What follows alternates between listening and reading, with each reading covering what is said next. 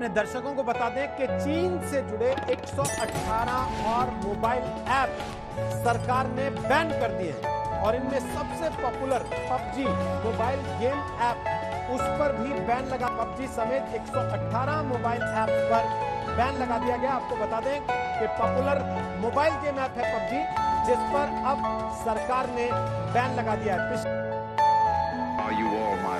One eternity later.